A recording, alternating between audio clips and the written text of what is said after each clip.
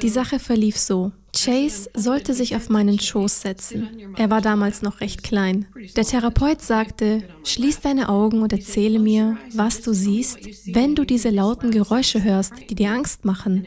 Und sofort sagte Chase, ich bin ein Soldat. Ich trage ein langes Gewehr mit einem Bajonett und kauere hinter einem Felsen. Überall ist Rauch. Ich weiß nicht mal mehr, auf wen ich schieße.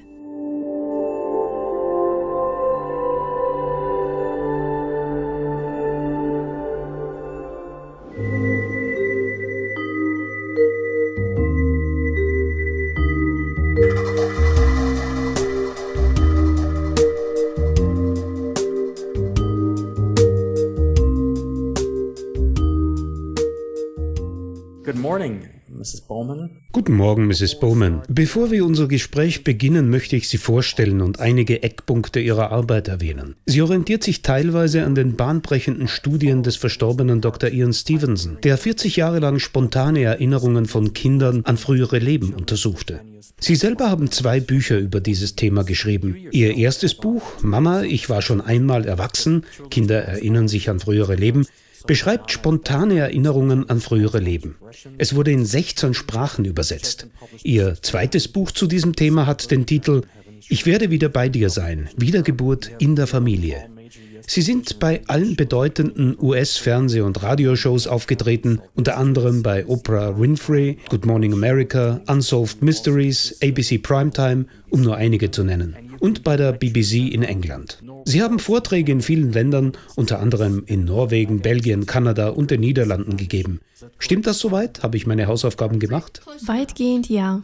Weitgehend, okay. Darf ich mit einer herausfordernden Frage beginnen? Reinkarnation. Waren wir alle schon einmal hier, in einem anderen Leben? Das ist eine interessante Frage. Denn einerseits würde ich sagen, ja. Andererseits würde ich sagen, es gibt keine Möglichkeit, das genau zu wissen. Wir könnten andere Erfahrungen in anderen Dimensionen haben. Ich weiß nicht, da wird es kompliziert. Aber meiner Erfahrung nach haben die meisten von uns frühere Inkarnationen auf der Erde erlebt.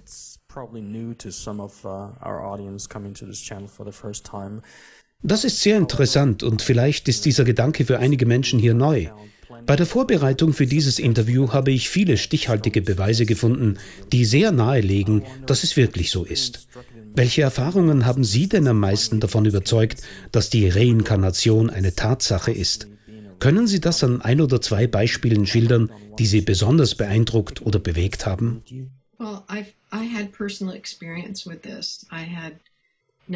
Mitte der 80er Jahre litt ich an einer chronischen Lungenerkrankung.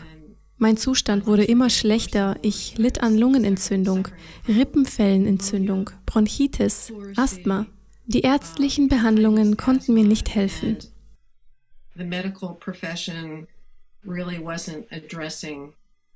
Ungefähr zur selben Zeit hatte ich Wachträume oder Visionen von mir selbst in anderen Lebensumständen, einem anderen Leben.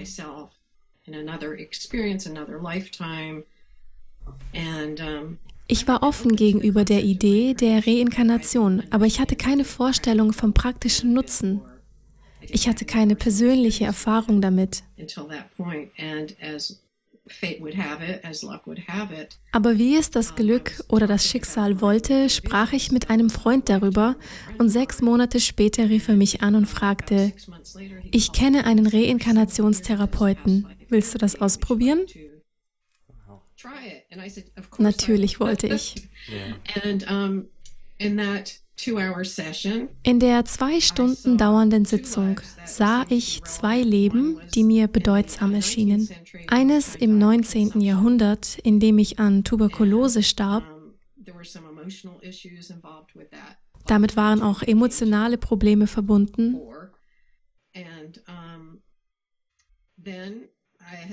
Und außerdem hatte ich eine dramatische Erinnerung an ein Leben, in dem ich in den Gaskammern im Zweiten Weltkrieg starb.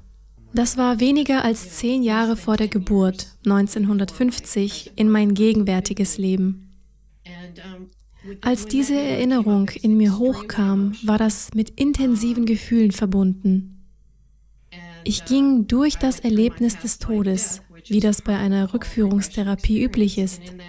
In diesem herausgehobenen Zustand konnte ich sehen, was ich aus diesem vergangenen Leben in mein jetziges mitbrachte. Angst, Schmerz, Traurigkeit über alles, was ich in meinem Leben verloren hatte. Und es schien mir so, als hätte ich mein ganzes Leben hindurch Hinweise erhalten. Aber erst mit dem Erlebnis der Rückführung kamen die Puzzleteile an ihren Platz. Und erstaunlicherweise verschwanden die Symptome in der Lunge. Das war eine der interessantesten Erfahrungen, die ich jemals gemacht hatte. Daher begann ich eine Ausbildung als Rückführungstherapeutin und machte zusätzlich ein Aufbaustudium als psychosoziale Beraterin, um fundiert arbeiten zu können und um mehr über die Arbeit als Beraterin zu lernen. Ein Jahr nachdem ich meine erste Rückführung erlebt hatte, entwickelten meine beiden Kinder Phobien. Mein Sohn, der damals fünf Jahre alt war, geriet während des Feuerwerks zum Nationalfeiertag am 4. Juli plötzlich in Panik. Sobald das Knallen begann, wurde er total hysterisch. Ich konnte das gar nicht verstehen, weil er sonst ein völlig unerschrockener kleiner Junge gewesen war. Als Mutter denkt man sich eben, vielleicht hat er zu viele Süßigkeiten gegessen oder er war überreizt von der Veranstaltung. Aber ein paar Wochen später waren wir in einem Hallenbad, wo die Leute von einem Sprungbrett sprangen, das tiefe, wummernde Geräusche erzeugte. Und er wurde wieder völlig hysterisch. Da musste ich wieder an das Feuerwerk denken und ich fragte mich, was wohl diese Reaktion auslösen mochte. Ich war damals als seine Mutter die ganze Zeit zu Hause. Ich wusste genau, womit er in Kontakt kam. Wir ließen die Kinder auch nicht viel Fernsehen. Wir kamen also zum Schluss, dass diese lauten Geräusche ihn ängstigten. Aber wir wussten nicht, wie wir damit umgehen sollten. Er sollte bald mit der Vorschule beginnen. Der Hypnosetherapeut, der ein Jahr davor meine Rückführung gemacht hatte, war gerade in unserem Ort. Ich dachte, er könnte Chase, meinem Sohn Chase, hypnotisch suggerieren, dass er sich das nächste Mal, wenn er solchen Geräuschen ausgesetzt sein würde, nicht fürchten solle, vor allem wenn er das erste Mal nicht zu Hause wäre.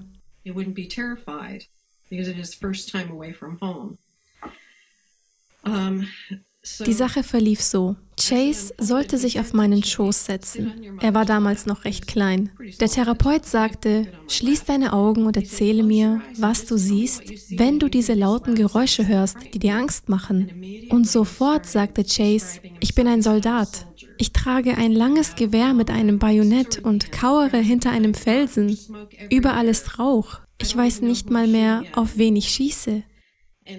Als er das beschrieb, wusste ich gleich, das kommt nicht aus der Sesamstraße oder irgendeinem anderen Kinderprogramm, das er vielleicht gesehen haben mochte.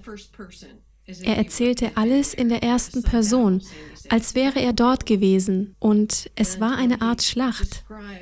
Plötzlich sagte er, ich bin am Handgelenk getroffen. Er hielt sein Handgelenk fest und sagte, die bringen mich in ein Spital, aber das ist kein richtiges Spital. Chase selber war noch nie in einem Krankenhaus gewesen. Er war sogar zu Hause auf die Welt gekommen. Er sagte, Sie legen mich in ein Bett, kein richtiges Bett, sondern eine harte Bank. Sie haben mein Handgelenk verbunden und mir gesagt, dass ich zurück in die Schlacht muss. Ich will nicht gehen. Ich vermisse meine Frau und meine Kinder. Das war der Augenblick, als mir klar wurde, dass er über ein früheres Leben sprechen musste.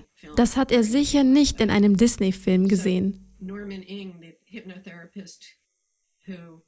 Norman, der Therapeut, sah, dass Chase sehr aufgewühlt war, weil er andere töten musste und weil er seine Frau und Kinder vermisste. Norman sagte daher in einfachen Worten, wie man eben zu einem Fünfjährigen spricht, wir leben viele verschiedene Leben und spielen in diesen Leben verschiedene Rollen, wie Schauspieler. In manchen Leben sind wir Soldaten und müssen andere Menschen töten und werden getötet. Aber du musst dir keinen Vorwurf machen. Wir sind da, um zu lernen. Da Chase auf meinem Schoß saß, konnte ich genau fühlen, dass er erst angespannt gewesen war, sich aber nun entspannte. Norman fragte, was passiert, wenn du zurück in die Schlacht gehst? Ich gehe eine staubige Straße entlang. Hühner sind auf der Straße. Da ist ein Wagen mit großen Rädern. Pferde ziehen eine Kanone. Ich wusste nicht einmal, dass er weiß, was eine Kanone ist. Chase sagte, ich bin hinter einer Kanone und muss an einem Seil ziehen. Und plötzlich schwebe ich über dem Schlachtfeld und sehe auf das rauchende Schlachtfeld hinunter. Und ich habe mir gedacht, ach du meine Güte, und er sagte, anscheinend hatte er seinen Körper verlassen. Er war in diesem Moment auf dem Schlachtfeld hinter der Kanone gestorben. Und er erzählte, er habe hinuntergesehen und sei froh gewesen, von hier weg zu sein. Das ist heftig. Und in diesem Moment öffnet er seine Augen, sprang auf und spielte wieder mit seinem Lego. So, und ich saß da und fragte, was war das? Norman meinte, das ist wahrscheinlich der Grund, warum es Geräusche gibt, von denen er sich fürchtet. Denn er starb auf einem Schlachtfeld hinter einer Kanone. Und das waren Geräusche, die seine Hysterie ausgelöst haben. Ich weiß nicht, wie ich das anders beschreiben soll. Und meine Tochter, die zu der Zeit neun Jahre alt war, saß bei uns und sagte, Mama, das ist wo Chase, als er erzählte, er sei am Handgelenk verletzt worden, das ist, wo er sein Extrem hat.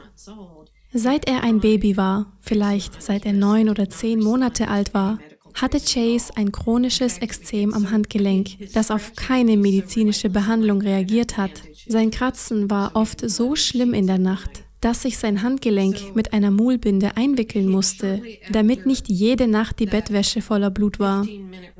Kurz nach dieser 15-minütigen Sitzung verschwand seine Phobie vor lauten Geräuschen. Wir haben das bemerkt, weil er sich zu seinem Geburtstag sein erstes Schlagzeug gewünscht hat. Damit produzierte er ständig dröhnende Geräusche. Aber das, was noch faszinierender war, war die Tatsache, dass das Extrem innerhalb von ein paar Tagen komplett verschwand. Beeindruckend. Das war eine physisch manifestierte Erinnerung, die er da hatte. In den nächsten eineinhalb Jahren erwähnte er diese Erinnerung noch ein paar Mal. Und als er älter wurde, konnte er sich besser ausdrücken und sprach mehr über seine Erfahrung. Dabei kam heraus, dass er ein schwarzer Soldat während des amerikanischen Bürgerkriegs gewesen war. Er wusste viel über die Artillerie, was später bei der Oprah Winfrey Show von einem Historiker bestätigt wurde. Sie ließ ihn nachforschen, was Chase gesagt hatte und ob das für einen Soldaten aus der Zeit stimmen könnte. Wir konnten nie seine Identität herausfinden, aber ein paar Bürgerkriegshistoriker konnten durch die Beschreibung des Schlachtfeldes die Stelle ermitteln, wo er gestorben war. Sehr beeindruckend. Die Artillerie und das Gewehr, was Chase beschrieben hatte, passte zu der Zeit. Ich selbst wusste damals gar nicht, dass es afroamerikanische Soldaten gab, die im Bürgerkrieg gekämpft hatten. Sie waren freie Männer im Norden. Der Norden und der Süden waren getrennt wegen der Sklaverei. Alles, was Chase sagte, stimmte mit den historischen Fakten überein. Aber was am bezeichnendsten war, war, dass er nicht nur eine emotionale Heilung erlebte, sondern auch eine physische, genauso wie ich selbst ein Jahr zuvor mit meiner Lunge. Das weckte dann wirklich mein Interesse und ich startete meine Recherchen damals mit Frauen aus der Gemeinde, die ich etwa fragte, hat Ihr Kind jemals über vergangene Leben gesprochen? Und ich fand heraus, dass es Geschichten gab, die diese Frauen noch nie jemandem erzählt hatten, denn sie sahen keinen Zusammenhang dafür. Ich möchte Sie an dieser Stelle nur ungern unterbrechen. Das ist kein Problem. Die Geschichten, von denen Sie erzählen, sind faszinierend und interessant. Dabei geht es bei diesem Thema ja nicht nur um einzelne persönliche Erfahrungen, wie Sie sie von sich selbst und von Ihrem Sohn berichten. Das Institut für Wahrnehmungsstudien an der University of Virginia berichtet von 2500 Fällen. Es wird dort schon seit mehr als 50 Jahren an dem Thema der Reinkarnation geforscht.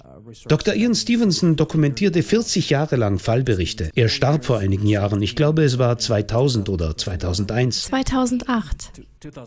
Ach ja, er ging im Jahr 2002 in Pension und starb im Jahr 2008. Jedenfalls begann die Arbeit an diesem Thema nicht erst gestern, wie aus dem Nichts. Das stimmt. Die Forschungen haben eine Geschichte. Stimmt. Und ich entdeckte Dr. Stevensons Arbeiten, nachdem ich meine eigenen Erfahrungen gemacht hatte. Ich hatte noch nie von ihm gehört. Und was er diesen 2500 Fällen entnehmen konnte, waren bestimmte Muster, die ich in meinen 30 Recherchejahren bestätigt fand. Dass Kinder spontane Erinnerungen haben können, sobald sie sprechen können, manchmal im Alter von zwei Jahren. Sie beginnen über ein anderes Leben zu sprechen. Normalerweise beginnen die Erinnerungen im Alter zwischen fünf und sieben Jahren zu verschwinden. Was ich nach meinen eigenen Erfahrungen am interessantesten fand, ist, dass emotionale Muster übertragen werden können. Kinder erinnern sich nicht nur an die Details eines anderen Lebens, sondern können Phobien auf dieses Leben übertragen, wie es bei meinem Sohn der Fall war, wenn er vor lauten, dröhnenden Geräuschen Angst hatte, aufgrund seiner Erfahrung auf dem Schlachtfeld. Was sich durch meine Forschungen und die von Dr. Stevenson auch zeigte, ist, dass viele Erinnerungen, die Kinder haben, manche sind positiv, da ist keine Therapie nötig, sie sind einfach interessant, in beeindruckender Weise die Persönlichkeit des Kindes erklären. Aus dem Zusammenhang mit dem, was es erlebt hat, wird deutlich, warum ein Kind eine Fähigkeit oder ein Talent hat. Manchmal sind Begabungen nicht neu. Die Kinder erinnern sich, dass sie etwas schon einmal gemacht haben, aber Stevenson und ich haben herausgefunden, dass viele der Kinder, die solche Erinnerungen in sich tragen, emotionale Schwierigkeiten mit einer traumatischen Todesursache haben, mit nicht natürlichen Todesursachen. Auf einem Schlachtfeld oder bei einem Unfall zu sterben, wenn keine Zeit bleibt, um sich zu verabschieden, man wird von einem Trauma festgehalten und das Trauma wird teilweise mit den Emotionen übertragen. Sogar die physische Todesart kann sichtbar werden, durch Muttermale oder Geburtsfehler. Auch die Neigung zu gewissen Krankheiten kann sich auf die Todesart beziehen, an die sich die Kinder erinnern. Die Kinder wissen von Dingen, die sie unmöglich wissen können. Aber nach meiner Heilung und der Heilung meines Sohnes wurde mir klar, dass Dr. Stevenson während seiner langen Karriere wunderbare Arbeit geleistet hat, indem er solche Fälle faktisch überprüfte. Er war dabei sehr genau. Er interviewte Familienmitglieder. Hat das Kind das wirklich gesagt? Und wie alt war es? Konnte es davon irgendwo anders gehört oder gelesen haben? Stevenson lieferte wirklich gute Belege dafür, dass die Erinnerungen echt sind und die Reinkarnation eine Realität ist. Denn das ist die einzige Schlussfolgerung, zu der solche Erinnerungen führen oder physische Merkmale, die in das jetzige Leben übertragen worden sind. Die Erinnerungen von Kindern zeigen einfach sehr viele eindeutige Zusammenhänge auf. Stevenson lieferte mir also einen unglaublich wertvollen Rahmen, in dem ich jetzt weiß, was mir selbst passiert ist und was meinen Kindern passiert ist. Das ist gar nicht so ungewöhnlich. Allerdings war ich überrascht, dass Stevenson nie über Heilungen gesprochen hat. In dem Sinn, dass die Kinder über ihre Erinnerungen sprechen und sie verarbeiten so wie es mein Sohn in seiner ersten Sitzung getan hat und wie ich das gelernt habe während eines Trainings zur Therapiearbeit mit Erwachsenen. Er stellte für mich aber eine Plattform bereit, um das Potenzial solcher Erinnerungen für die Heilung zu erforschen. Und nach 30 Jahren der Forschung kann ich bestätigen, dass Traumata auf Kinder übertragen werden.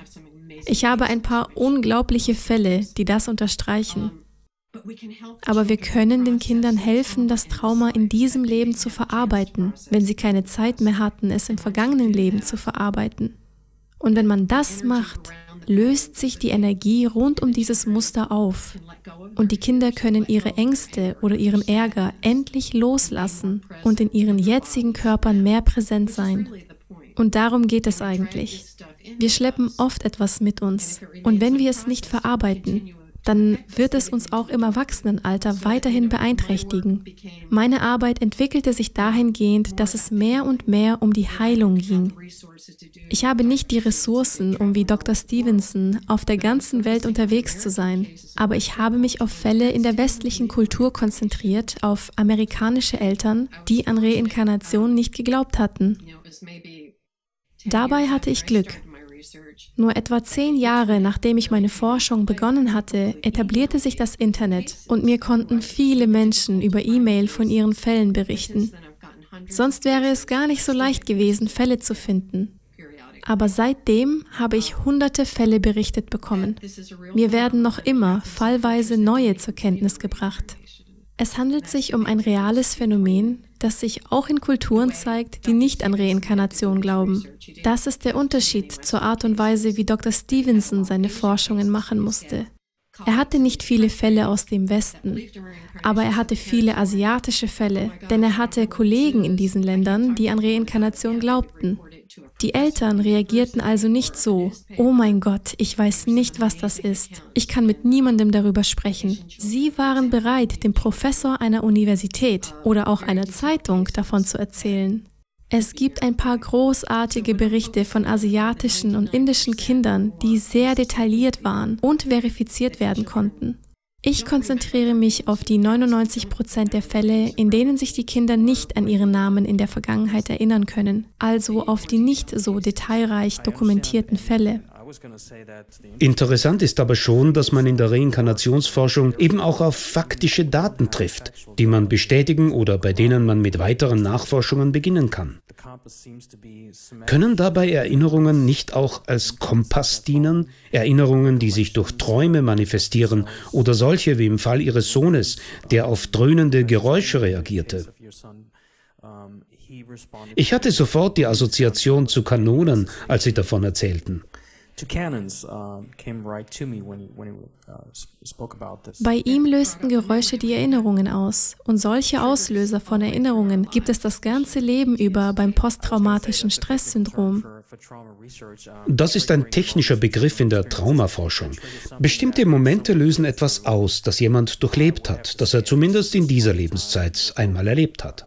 Aber man kann den Rahmen ja erweitern und davon ausgehen, dass es nicht unbedingt in diesem Leben gewesen sein muss, sondern auch in einer anderen Zeit gewesen sein könnte, wie das der Fall ihres Sohnes Chase veranschaulicht und zu beweisen scheint. Und wir sind hier im Westen wohl vor allem nur darauf aus, herauszufinden, ob solche Erinnerungen echt sind oder nicht, ob die gesammelten Daten und Fakten die Aussagen der Kinder beweisen können. Aber was dann? Müsste nicht sofort in logischer Konsequenz die nächste Frage lauten, was mache ich, wenn ich weiß, es handelt sich wirklich um Reinkarnationserinnerungen? Ja, es geht um den praktischen Nutzen dieses Phänomens. Ich bin ein sehr praxisorientierter Mensch und ich habe den Nutzen für meine Kinder gesehen, die Veränderung in meinem Sohn. Und in über 30 Jahren habe ich dramatische Veränderungen bei manchen Kindern miterlebt, die von ihren Eltern therapiert wurden, die mein Buch gelesen hatten. Ich berate auch Eltern. Wenn man einem Kind erlaubt, über solche Erinnerungen zu sprechen, ohne es zu stoppen oder zurückzuweisen, dann gibt es ein großes Potenzial für eine Heilung. Und ich finde, dafür ist meine Arbeit da. Eltern sollten in der Lage sein, echte Erinnerungen aus einem vergangenen Leben bei ihren eigenen Kindern zu identifizieren und sie von Fantasiegebilden zu unterscheiden. Ich möchte den Eltern auch Wegweiser bieten, ihnen zeigen, wie man mit einem Kind spricht, wenn es verstörende Erinnerungen an ein vergangenes Leben mit sich trägt, ein belastendes Trauma. Bei positiven Erinnerungen sollte man das Kind einfach sprechen lassen und bewundern, was sie sagen. Es kann sehr viel Aufschluss über derzeitige Erlebnisse und über die Persönlichkeit des Kindes geben. Und es ist wirklich wichtig, dass das Kind die Gelegenheit hat, seine Eltern in diese Information einzuweihen. Ich denke, die meisten Kinder würden es nicht als angenehm empfinden, mit einem Fremden über so etwas zu sprechen. Aber gegenüber der Mutter oder dem Vater oder einem engen Verwandten sind sie bereit, sich zu öffnen.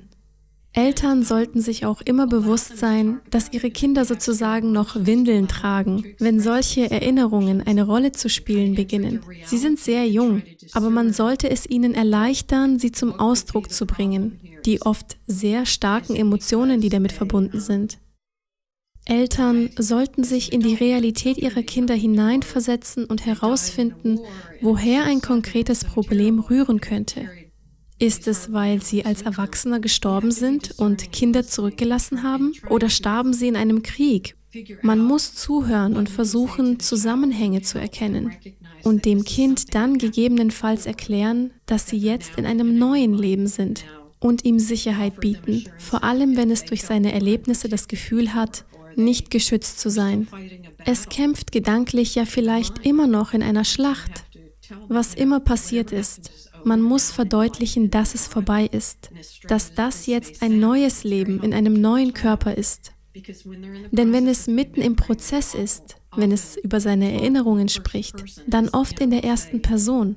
Es sagt dann, ich bin ein Soldat oder ich habe eine Frau und Kinder, so wie es auch bei meinem Sohn war. Man muss wirklich verstehen, dass Kinder zwischen ihrem vorigen Leben und der Realität in der Jetztzeit oft nicht unterscheiden können, wenn sie zwei, drei oder vier Jahre alt sind. Für sie ist es eine Realität, die sich fortsetzt. Und sie sind noch mitten in einem Prozess, stehen noch mit einem Bein im vergangenen Leben und können es nicht vom Leben jetzt unterscheiden. Die Arbeit der Eltern besteht also darin, den Kindern zuzuhören und sie dahingehend zu leiten, dass sie ganz verstehen, jetzt in einem neuen Körper und einer neuen Realität zu sein. Ich bin deine Mutter. Ich werde dich beschützen oder dir geben, was immer für deine Sicherheit nötig ist. Im Alter zwischen fünf und sieben, wenn sich die Kinder schon mehr auf ihre Außenwelt eingestellt haben und die Innenwelt nicht mehr so im Vordergrund steht, öffnet sich nach meinen Erfahrungen ein wertvolles Zeitfenster, das die Möglichkeit bietet, die Kinder zu heilen, indem sie das alles verarbeiten, was an belastenden Erinnerungen aus dem vergangenen Leben noch gegenwärtig ist dann hat man wirklich gute Chancen, sie für ihr restliches Leben zu heilen. Manchmal werden Verhaltensmuster oder Phobien auch anhalten, bis die Kinder sie später einmal aktiv loslassen, sobald sie dafür bereit sind, reifer geworden sind und mehr verstehen. Aber das ist ein anderer Prozess, als wenn man überhaupt erst später auf die Erinnerungen zugreift, als ein Erwachsener oder als älteres Kind denn dieses Zeitfenster ist dann bereits geschlossen. Ich verstehe. Für ein Kind ist das die wertvollste Gelegenheit, wenn es über seine Erinnerungen sprechen kann, sobald sie sich auswirken, wenn es Unterstützung darin bekommt, loszulassen. Es geht immer darum, das Trauma loszulassen. Ihre Aussagen überschneiden sich recht gut auch mit dem Thema Karma. Sie erzählten von dem Auslöser im Fall ihres Sohnes Chase. Das entspricht den Erkenntnissen, die Dr. Stevenson und die Forscher an der Universität von Virginia aus ihren Fällen ziehen konnten. Manchmal gibt es auslösende Momente, die, wie etwa bei ihrem Sohn, dramatische Reaktionen auslösen. Es gab da ja auch den berühmten Fall von James Leininger. Er war Pilot im Zweiten Weltkrieg gewesen, der bei einem Flugzeugabschuss gestorben war. Er erzählte von diesen Erlebnissen als Kind sehr detailgenau und verifizierbar. Was Skeptiker allerdings trotzdem nicht überzeugt, weil sie persönliche, subjektive Erlebnisse generell im Widerspruch zu überprüfbaren, objektiven Daten sehen. Sie jedoch sind durch ihre eigene Forschungsarbeit davon überzeugt, dass Kinder mit solchen Erfahrungen etwas erzählen, das sich später als faktisch wahr herausstellen kann, richtig? Ja, und im Fall von James Leininger habe ich übrigens viele Jahre mit seinen Eltern gearbeitet. Wow, das wusste ich gar nicht. Ich kann darüber gern ein wenig mehr berichten, denn es handelt sich um einen sehr gut dokumentierten Fall. Einer von denen, wo ein Kind mit bestimmten Erinnerungen auf die Welt kommt. James war etwa zwei Jahre alt, genau 22 Monate, glaube ich. Seine Eltern kontaktierten mich, weil er fünfmal die Woche Albträume hatte. Er sei hysterisch, unruhig und er würde rufen, Kleiner Mann kommt nicht raus, Flugzeug brennt. James trat und schlug um sich. Und seine Eltern wussten nicht, was da passierte. Aber es war sehr verstörend für die Familie. Und natürlich war es für den armen Kleinen ebenso verstörend. James war immer von Spielzeugflugzeugen besessen.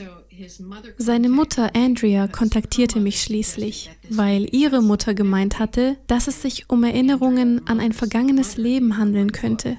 Sie kannte mein Buch, las es und schickte mir dann eine E-Mail. Ich bestätigte ihr, dass es sich sehr wahrscheinlich um die Erinnerung an ein vergangenes Leben handeln könnte. Sein Alter spreche dafür, die Art und Weise, wie er den Flugzeugabsturz erlebte, seine Besessenheit von Spielflugzeugen und auch echten Flugzeugen. Sie müsse mit James sprechen, Zugang zu seiner Realität finden und ihm versichern, dass jetzt alles in Ordnung ist. Das machte sie und berichtete mir bald, dass die Albträume seltener wurden. Die Eltern hörten ihrem Sohn zu, gingen auf ihn ein. Was ist passiert? Kleiner Mann kann nicht raus. Flugzeug brennt. Ich kann nicht raus. Die Erinnerungen verloren ihre Energie in dem Maß, wie die Eltern mit ihrem Sohn sprachen, auf seine Realität eingingen, anstatt sie zu verleugnen. Wenn sie keine Antworten wussten, gaben sie es zu, aber sie gingen auf ihren Sohn ein. Danach sprach er bald freier über sein Leben als Pilot und er erinnerte sich sogar an den Flugzeugtyp, den er flog und an den Namen eines Flugzeugträgers. James Vater, ein sehr frommer Christ, weigerte sich aber trotzdem zu glauben, dass es sich hier um ein vergangenes Leben handeln könnte. James Mutter glaubte daran, denn sie sah die Ergebnisse und betrachtete Reinkarnation als eine logische Erklärung. Der Vater, Bruce, wollte es nicht glauben. Deshalb begann er nachzuforschen, wenn immer James etwas von seinem vergangenen Leben erzählte. Zum Beispiel, als er sagte, er sei eine Corsair geflogen. Seine Eltern wussten nicht, was eine Corsair ist. Sie forschten nach und entdeckten, ein Kampfflugzeug aus diesem Krieg, dass es sich um einen Flugzeugtyp handelt, der im Zweiten Weltkrieg tatsächlich verwendet worden war. Die Eltern fragten, ob James sich an Namen von Freunden erinnern könnte, und er sagte, ja, Jack Larson. Und sie forschten nach. Es gab tatsächlich einen Jack Larson, der auf einem Flugzeugträger in der Natoma-Bucht stationiert war. Es gab einfach so viele Übereinstimmungen in diesem Fall. Tatsächlich aber ist das ein herausragender Fall. Wir konnten nicht viele ähnliche Fälle im Westen dokumentieren. James schloss mit diesen Erinnerungen ab. Wir waren gemeinsam in einer Fernsehshow, ABC Primetime, eine sehr bekannte Sendung in den USA.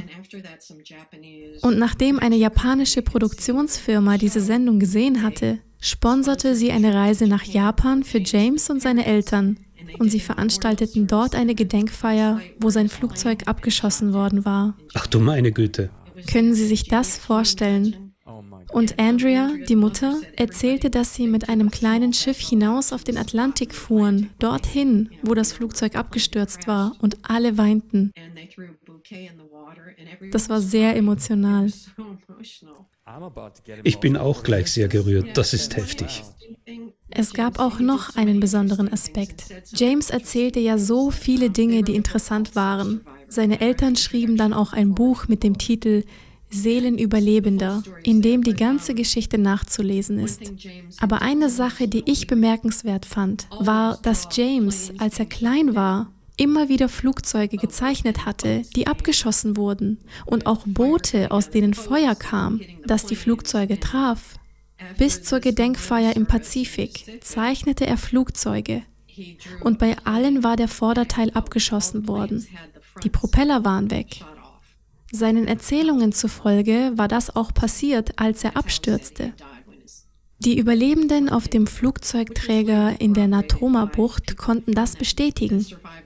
Sie haben viele Details dieses Falls bestätigt.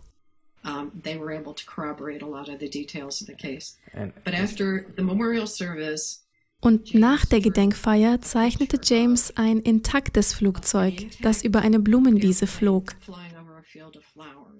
Wow. Das war seine Interpretation. Und doch bereitet das Feld, auf dem wir uns hier bewegen, einige Schwierigkeiten. Schon aufgrund der ausgesprochenen Skepsis im Westen. Die Medizin neigt zur Interpretation, dass es sich hier um einen Fall von multipler Persönlichkeitsstörung handelt. Sie unterstellt, dass Kinder mit solchen Erinnerungen sich etwas zusammenfantasieren oder dass sie paranoid seien.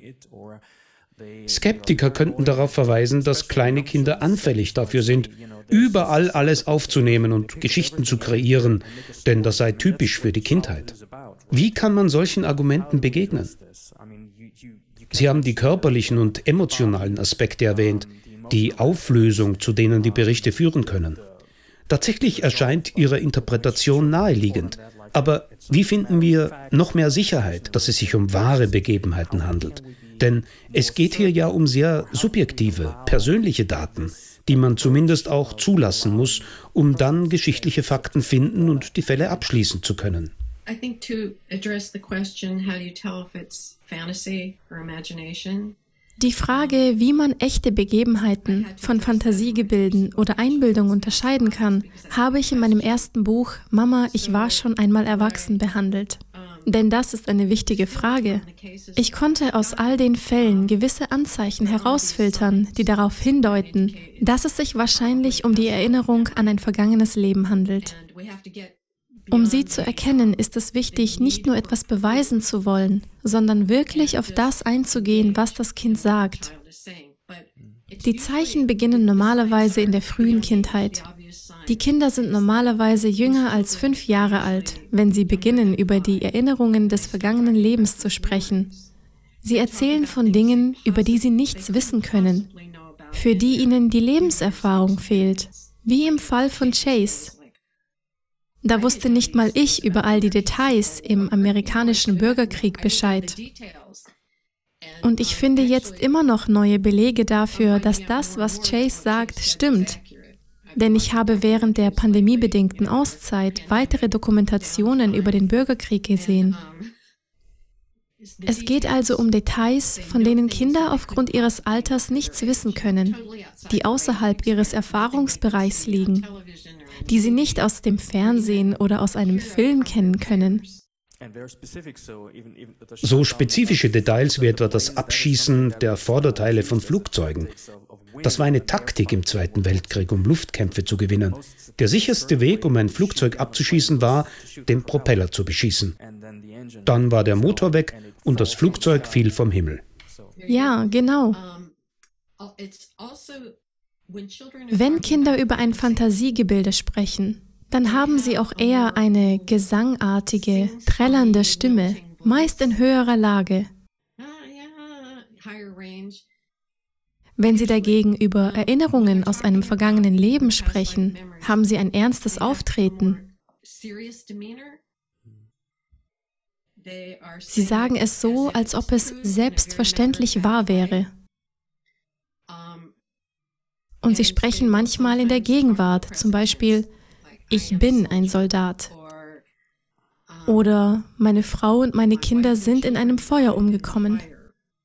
Wirklich mit einer Selbstverständlichkeit. Wenn man nachfragt, also das ist jemandem passiert, dann sagen sie, nein, das war ich.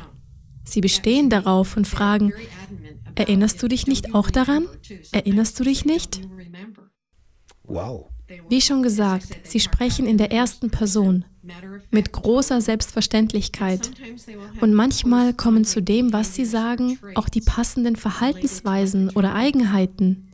Wenn sie etwa davon erzählen, auf einem Boot von Bord gefallen und gestorben zu sein, dann passt das zu der Phobie von Wasser, die sie zeigen. Das gehört zu den Gegebenheiten, die Dr. Stevenson herausfand und es geht dabei um einen sehr hohen Prozentsatz. Er sagte, in etwa 35 Prozent der Fälle eines traumatischen Todes zeigen die Kinder Phobien, die mit der Art des Todes zu tun haben. Ich denke aber, der Prozentsatz ist noch höher. Es kommt viel häufiger vor, dass Kinder Phobien zeigen, die in der Verbindung zu ihrer Todesart stehen. Es gibt Verhaltensweisen, die beim Spielen zum Vorschein kommen können, sich wiederholende Themen, die ihr Spielen prägen. Oder sie haben Fähigkeiten, die sie nicht in diesem Leben entwickelt haben. Sogar komplexe Fähigkeiten. Ich hatte einen Fall, wo die Mutter berichtet hat, dass ihr Sohn, ich glaube, er war zu der Zeit etwa vier Jahre alt, einen Knopf seiner Jacke verloren hatte. Er ging mit dem Nähkästchen in sein Zimmer und nähte den Knopf wieder perfekt an. Als sie ihn fragte, warum er das könne, antwortete er, als ich ein Matrose war, musste ich meine eigene Kleidung nähen. Er begann darüber zu sprechen, dass er auf einem alten Segelboot war und wie es in der Nacht knarrte. Und wieder so ein Detail, das darauf hinweist, dass er wirklich dort war. Es handelt sich um eine erworbene Fähigkeit, die in diesem Fall übertragen wurde.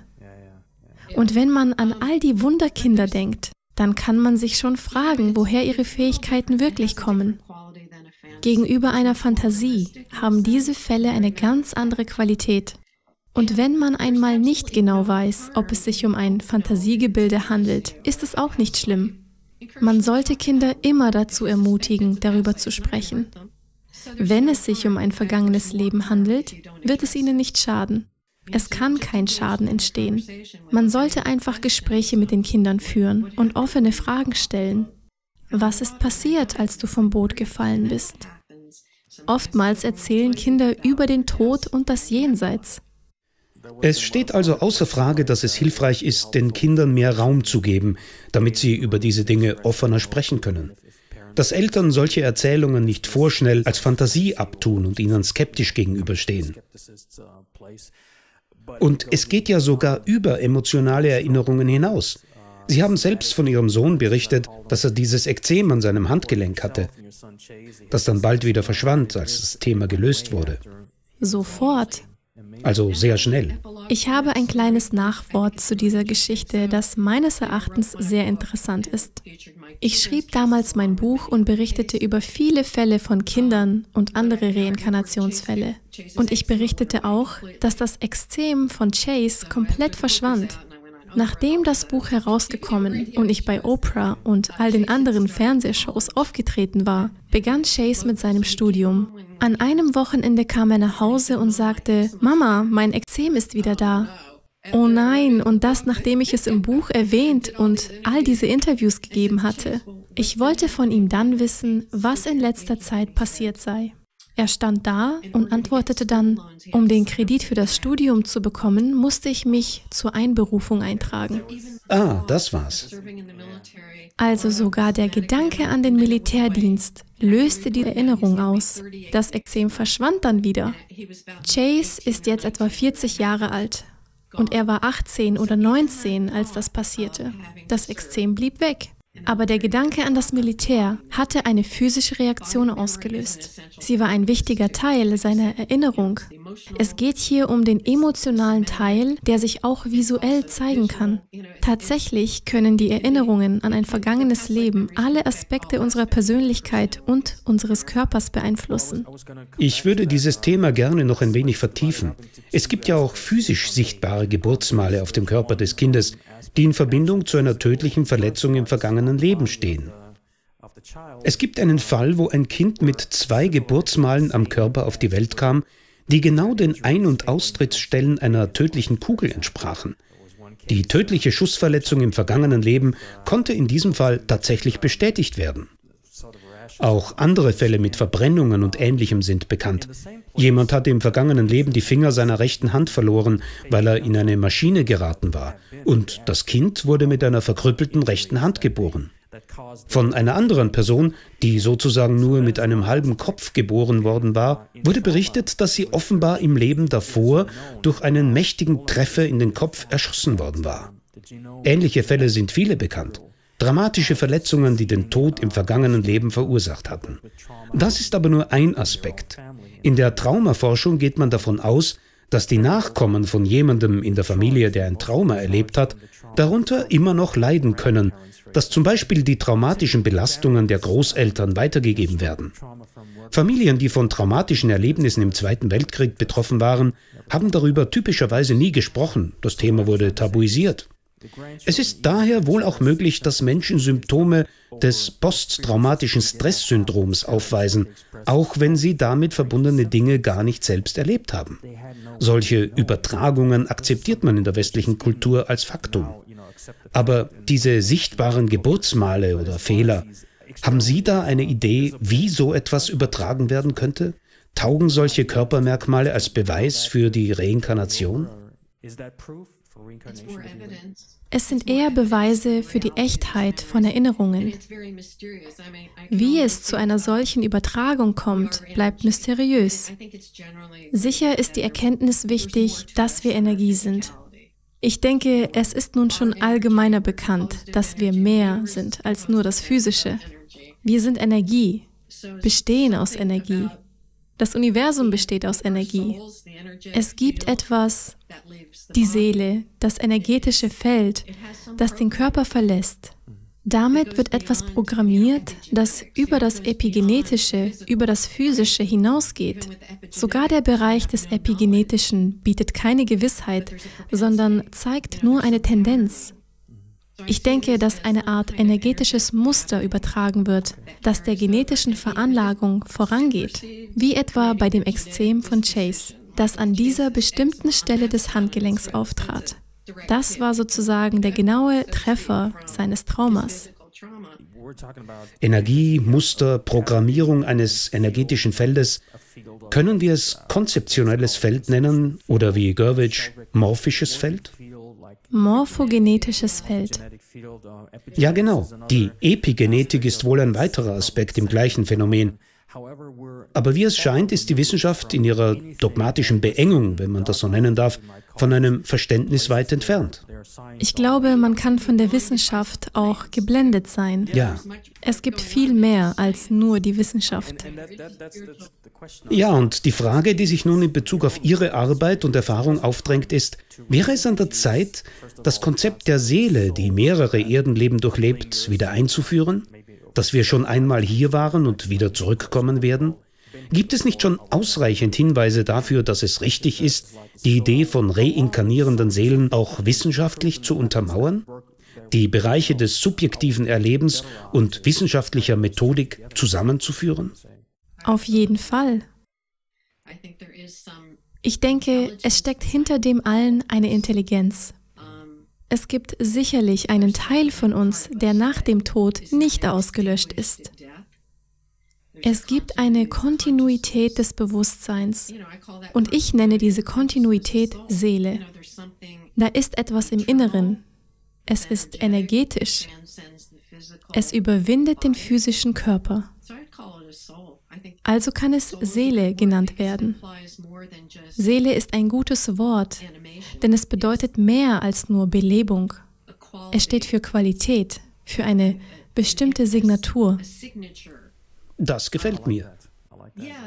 Das ist etwas, das wir erst mit der Zeit erkennen, vor allem wenn wir uns an mehrere Leben erinnern. Es gibt bestimmte Themen und ich denke, sie sind da, damit wir lernen, ohne dass es dabei eine geradlinige Entwicklung gibt. Wir können uns verbessern, wir können uns zurückentwickeln, aber wir lernen dabei. Wir lernen, was es bedeutet, Mensch zu sein. Und ich denke, dass viele Weltreligionen zeigen, dass sich alles um Liebe und Mitempfinden dreht.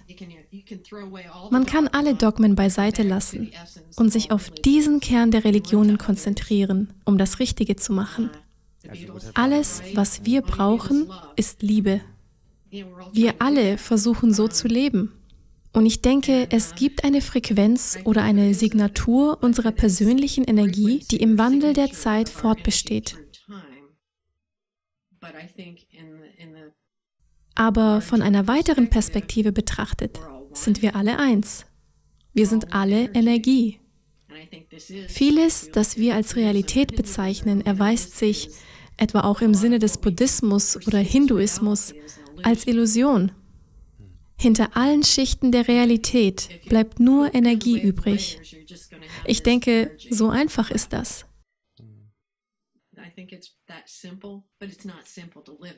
Aber es ist nicht immer einfach, darin zu leben, das ist klar. Auch der Tod ist ein Teil dieses Stroms des Bewusstseins. Ich denke, wir sind geprägt durch unsere Erfahrungen und durch die Zeit, in die wir hineingeboren werden, durch die Kultur, in der wir leben, die Lebensumstände. All das gehört mit zu unserem Lernprozess. In gewisser Weise ist alles darauf abgestimmt. Und vielleicht arbeiten wir an diesem Design für unser Leben auch mit. Ja, vielleicht. Jedenfalls steckt ein Zweck hinter allem. Es gibt ein höheres Bewusstsein, in das wir manchmal kurz einen Blick hineinwerfen können. Aber die meiste Zeit kommen wir damit nicht in Berührung, würde ich sagen. Weil wir so auf die Erde fokussiert sind und auf die Dinge, die hier passieren, darauf mit unserem irdischen Leben zurechtzukommen? Wir sind gehirngewaschen, könnte man dazu auch sagen, Kultur angepasst und konditioniert. Wie William Blake sinngemäß meinte, wir sind auf unsere beschränkten Sinne begrenzt. William Blake ist ein Dichter. Ach ja, ja. Ein Mystiker. Wir sind mehr, als unsere fünf Sinne wahrnehmen. Ich glaube, er hat formuliert, wir sehen die Welt durch die Spalte unserer Sinne. Wir sind eingeschränkt. Aber wir können auch mystische Momente erleben. Die Verbundenheit mit einer höheren Intelligenz oder Energie. Und ich denke, das ist die Realität. Der Rest ist nur Illusion. Beschränkung durch unsere Sinne und unsere Erfahrungen. Nahtoderfahrene scheinen das zu bestätigen. Sie sprechen typischerweise von einer höheren Realität, die sie dort erleben. Noch eine Frage zur Reinkarnation. Kennen Sie einen Fall, wo jemand wieder in die gleiche biologische Familie geboren wurde? Nun ja, in meinem zweiten Buch, Ich werde wieder bei dir sein, geht es genau darum, um Reinkarnation in derselben Familie. Ich denke, es gibt Gründe, warum man in dieselbe Familie zurückkehrt. Und das Buch habe ich geschrieben, weil es solche Fälle gibt. Vor allem, wenn ein Kind stirbt und dann innerhalb weniger Jahre zur gleichen Mutter zurückkehrt. Das ist sehr beeindruckend. Für mich ist das ein Wunder. Und es macht Hoffnung. Es geschieht wirklich. Ich musste die Frage untersuchen, ob Reinkarnation einfach eine Art Zufall ist. Passiert es einfach, dass wir in einer bestimmten Familie landen?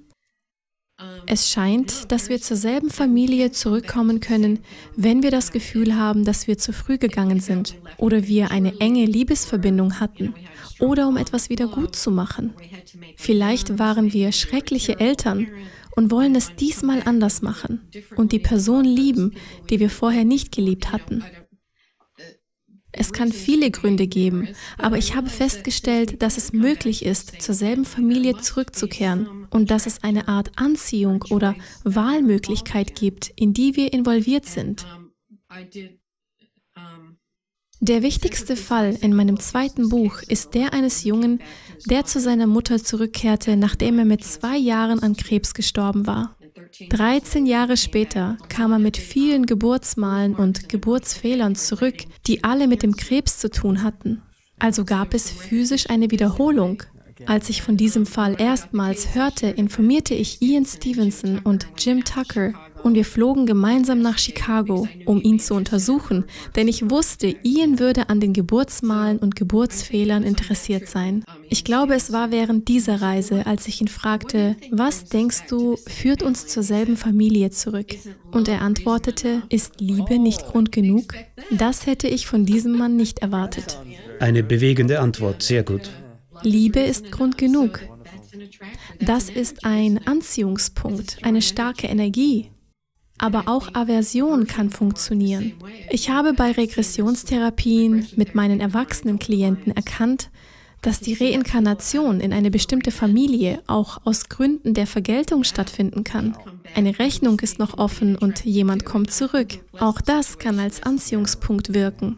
Es muss nicht unbedingt eine angenehme Verbindung sein. Man versucht mit der Seele sozusagen einen neuen Zyklus. Also ich denke, es kann in jede Richtung gehen.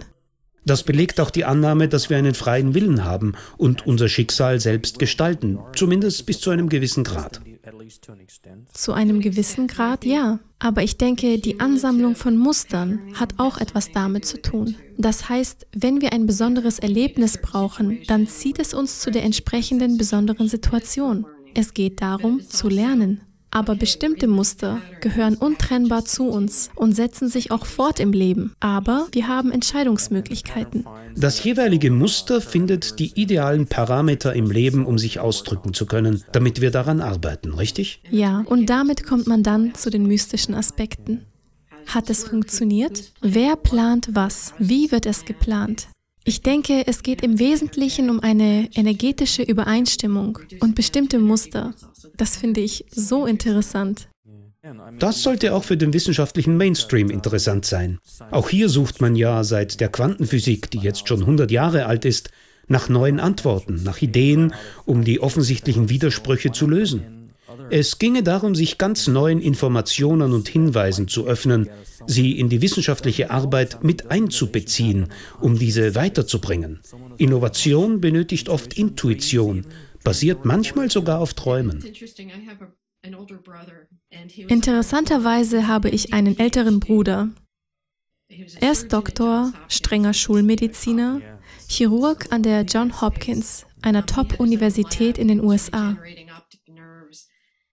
Er hat sein eigenes Labor, hat Nerven erneuert und hat wirklich Grundlagenforschung betrieben. Aber um seine Entdeckungen weiter voranzutreiben, spielte ein Traum seiner Frau eine wichtige Rolle. Sie ist keine Wissenschaftlerin, aber ihr Traum führte zu einer wichtigen Intuition. Sogar Einstein betrachtete die Intuition als Teil im Gesamtprozess. Ein Wissenschaftler braucht Intuition, um weiterzukommen. Er sollte ihr folgen. Und was ist Intuition? Woher kommt sie? Woher hatte sie Mozart? Er schrieb einfach nieder, was ihm einfiel. Und es war schon recht perfekt, gleich beim ersten Mal.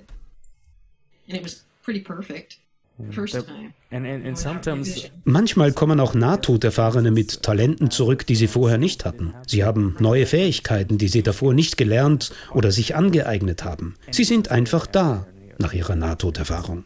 Wie etwa Musik komponieren zu können. Zum Beispiel. Auch Sie haben ja so viele berufliche Fähigkeiten. Sie sind Autorin und Therapeutin. Wir konnten heute über einige Aspekte Ihrer Arbeit sprechen. Vielen Dank dafür. Worauf konzentrieren Sie sich aktuell, wenn ich abschließend fragen darf? Auf meine Pension. Aufs Entspannen.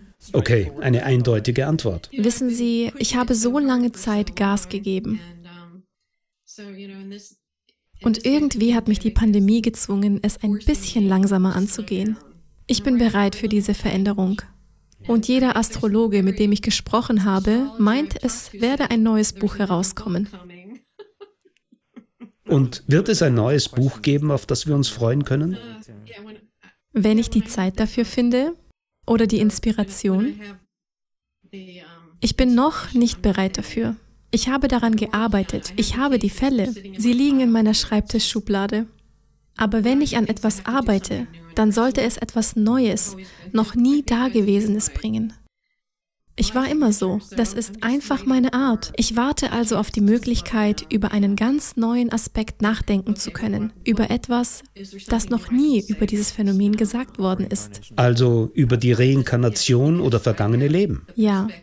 Es gibt tausende Erwachsene, mit denen ich gearbeitet habe, die ich therapeutisch in vergangene Leben begleitet habe.